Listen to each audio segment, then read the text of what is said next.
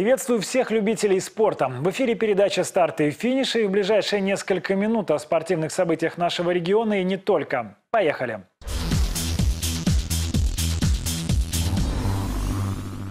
Завершилась часть игр 1-16 финала Кубка Беларуси по футболу. Этот этап розыгрыша трофея не обошелся без сюрпризов.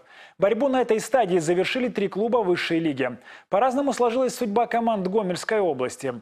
Светлогорский «Химик» проиграл футбольному клубу «Слуцк». Мозырская «Славия» одолела «Минская торпеда». Но, пожалуй, самым неожиданным стал матч между Гомель-Желдортрансом и Крумкачами. Вороны в Гомель прилетели в статусе фаворита. Клуб, грандиозно влетевший в высшую лигу и весьма уверенно поднимающийся по турнирной таблице, в последнее время заставляет говорить о себе все чаще и чаще. Трансферная политика, белорусскоязычие, негаснущий запал. Видимо, это накануне кубкового матча привлекло внимание одной курьезной персоны, жаждавшей во что бы то ни стало помочь железнодорожникам одолеть минчан. В пресс-службу Гомель Желдортранс обратился человек, из-за которого, по его словам, проигрывает хоккейный клуб «Динамо Минск». Но гомельчанам специалист по связям с высшими всеми силами предложил организовать выигрышную серию. Мы относимся ко всем предложениям серьезно, в принципе, и разговорились. Оказывается, это человек экстрасенс, предлагает свои услуги по э, тому, как поработать с командой, поддержать игру. Обещал, что четыре игры будет держать. Говорил, что предлагал когда-то свои услуги футбольному клубу «Гомель». К сожалению, они отказались и, возможно, из-за этого не покинули высшую лигу. Гомельчане тактично скрыли свое отношение к подобному предложению, но бороться с крумкачами решили без помощи экстрасенсов. Хотя в схватке с воронами смотрелись не очень-то уж уверенно. Особенно после первого гола. На 11-й минуте свой 25-й мяч заменчан забил Евгений Шикавка. Впрочем, ничего особо высшелиговского в гостях не наблюдалось. Железнодорожники сравняли счет за пару минут до перерыва. В кубковых играх нет разницы в классе команд. То бишь высшая лига, первая лига, вторая лига не имеет значения. Это игра за кубок. Все, это другой турнир. Поэтому здесь проигравший выбывает. Надо конкретно в определенную игру выложиться полностью. Тренерский штаб Минчан признавался, что ставку на кубок клуб не делал, и постепенно это стало проявляться все больше. Гомельчанам не хватало точности и адекватности в реализации. На гости как-то и не чинили препятствий. Железнодорожники большую часть второго тайма просидели на половине гостей. И на 69-й минуте Андрей Лавренчук дожал столичного голкипера 2-1. Не бывает легких. Для нас оказался очень тяжелый, плюс э, хороший уровень сопротивления со стороны ГЖБТ. Поэтому то, что мы играли, то получили. Думали, на классе пройдем, а, к сожалению, не получилось. Э, я говорю, что в кубковых матчах решает многое, может быть, не мастерство, а сама отдача. Вот у футболистов Гомеля нам как раз на порядок. Все оставшееся время маленький, но гордый и переполненный стадион с Дюшор-8 умолял хозяев продержаться до финального свистка, что те с удовольствием и сделали. Гомель Желдортранс, одолев футбольный клуб Крумкачи, прошел в одну восьмую Кубка Беларуси. Не решена судьба еще двух команд Гомельской области. Калинковичская вертикаль свой матч с Ислачью сыграет 26 июля. Футбольный клуб Гомель примет «Динамо Минск» только 1 сентября.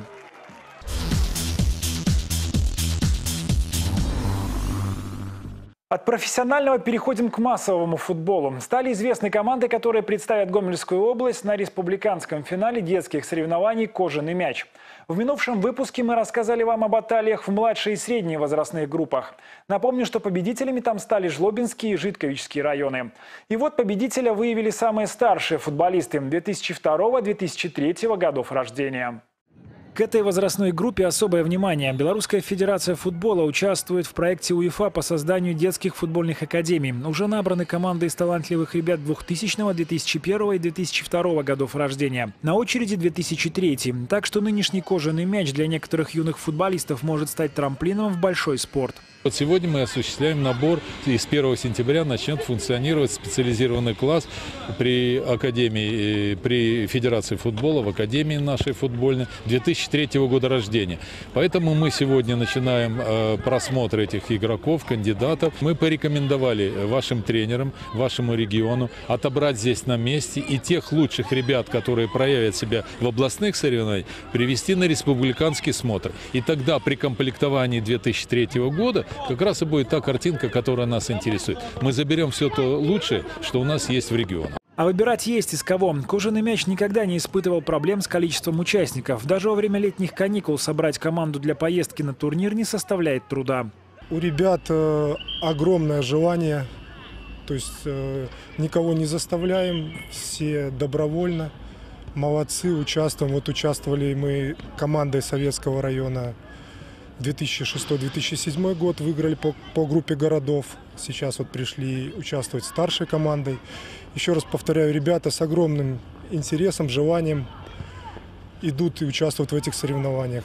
Команда из Калинковичей приезжает на кожаный мяч на протяжении последних лет практически в одном составе. Меняются только возрастные категории, в которых выступают ребята. Однако, несмотря на это, играть и тренироваться ребята не бросают.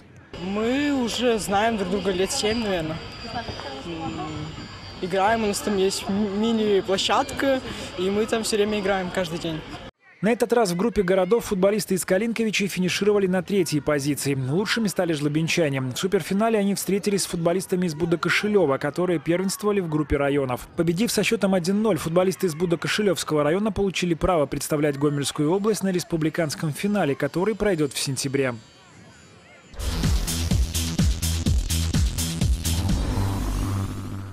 Совсем скоро, в конце лета, взгляды всех любителей спорта будут прикованы к бразильским аренам. В Рио-де-Жанейро пройдет летний вариант главных стартов четырехлетия.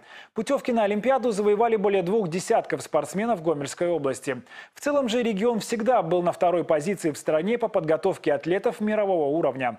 Это не было бы возможно без соответствующей спортивной базы. Наши арены широко известны и пользуются спросом. Стадион «Центральный ледовый дворец», дворец водных видов спорта. Легкоатлетический манеж, грибной канал принимали соревнования не только республиканские, но и международные. Несмотря на общее неплохое положение спортивных объектов Гомельской области, отдельные проблемы с материально-технической базой все равно остаются. Та же знаменитая Дюшор-4 по гимнастике уже давно жалуется на нехватку места. Площади для нескольких видов спорта здесь нужны значительные.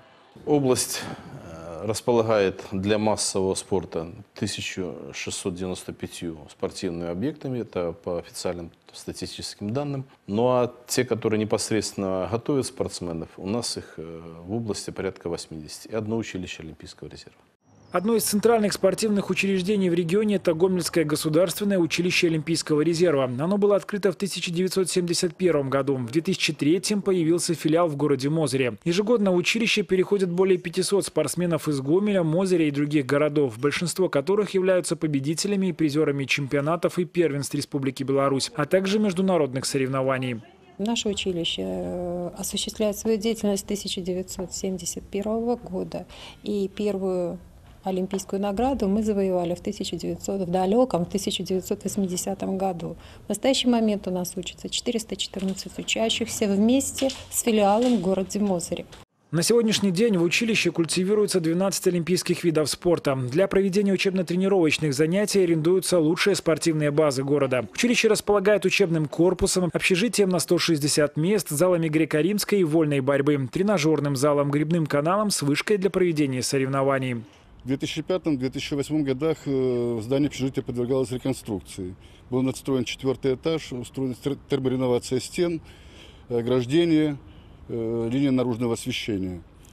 Основная задача училища – это подготовка резерва для национальных команд Беларуси. Из этих стен вышли два олимпийских чемпиона. Все это было невозможно без соответствующего оборудования. Над модернизацией материально-технической базы в училище работают постоянно. Разумеется, открыть новое современное отделение удается не каждый год, не позволяют финансы. Но определенное улучшение можно сделать даже собственными силами. Осенью 2015 года были выделены средства из областного бюджета на устройство гимнастического городка во внутреннем дворе училища и частичный ремонт асфальтобетонного покрытия э, двора. Э, на ближайшие планы планируется устройство многофункциональной площадки для подвижных игр, то есть мини-футбола, гандбола, волейбола. Подчинении училища Олимпийского резерва находится и грибной канал в Якубовке протяженностью 2200 метров. Современная инфраструктура здесь появилась в 2009 году. Первоначально мы значит, здесь расширили э, грибной канал, почистили, облагородили его. Вот он стал у нас, э, ширина его стала 105-106 метров, вот, глубиной 3 метра по всей акватории канала. Вот. Ну и потом вот, вот в 2009 году сделали вот эту вышку судейскую так называемую. Настоящая гордость училища Олимпийского резерва – это новый спортивный комплекс Мозырского филиала. Этот проект стал результатом сотрудничества государства и бизнеса. Успехи мозырских спортсменов известны давно. У нас учились спортсмены, участники, призеры Олимпийских игр. Гребля на байдарках и каноэ. Надежда Лепешка, Маргарита Тишкевич, Ольга Худенко. Гребля академическая. Станислав Щербаченя, велосипедный спорт Константин Севцов и многие-многие другие. Новый многофункциональный спортивный комплекс включает в себя залы для тяжелой атлетики, сухой гребли и общей физической подготовки, а также восстановительный центр с медицинскими и массажными кабинетами. Реконструкция и строительство за счет областного бюджета на объекте начались в 2011 -м. В ближайшее время планируется начать строительство второй очереди спорткомплекса. В этом году разработают проектно-сметную документацию. Работы будут вести за счет областного бюджета. В целом совершенствование материально-технической базы – одна из основных задач спортивных функционеров области. Сегодняшний день, благодаря и губернатору нашей области Владимиру Андреевичу Дворнику, и э, благодаря той поддержки финансовой, которая сегодня идет от местных органов власти. На мой взгляд, условия для развития олимпийских видов спорта в Гомельской области есть. И сегодня э, эти наши базы спортивные замечены не только старшими тренерами национальных э, команд, но и иностранными командами. Все остальное – дело совместного труда тренеров и спортсменов, которое, надеемся, в Рио выльется в приличный список олимпийских наград.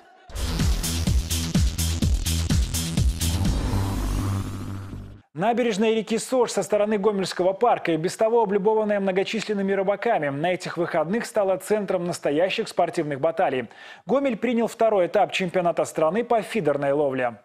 11 команд из многих белорусских городов, несколько десятков спортсменов и тренеров. На набережной Гомельского парка было достаточно многолюдно. С каждым годом этот вид спорта набирает все большую популярность. И одновременно растет класс белорусских спортсменов. Последнее достижение и, к слову, самое громкое за всю историю страны – пятое место на чемпионате мира в Сербии. Белорусскую сборную торжественно поздравили во время открытия гомельского этапа чемпионата. В город над Сожем спортсмены съезжаются весьма охотно. Местная река славится своими уловами и азартом. Даже если за внешне внешним спокойствием рыболов этого и не видно. Фидер – это снасть, когда лов идет на, скажем так, с кормушкой, в которую набивается прикормка. И получается, что прикормка сразу падает на дно, и рядом с ней находится поводок с наживкой. А поклевку спортсмены регистрируют по кончику удилища, то есть когда рыба клюет, она сгибается, естественно, они вытаскивают. В этом году, говорят, уловы не такие большие, как обычно. На победу на этом этапе одержала команда feeder.by.